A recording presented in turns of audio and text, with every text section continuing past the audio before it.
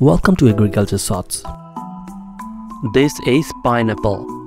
Pineapple are a tropical fruit native to Asia and America.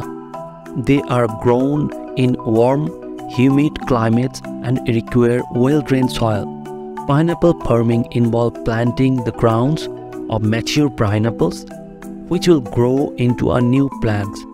The fruit takes about 18 months to mature and is typically harvested by hand. Pineapple are a delicious and nutritious addition of variety of dishes and can be eaten fresh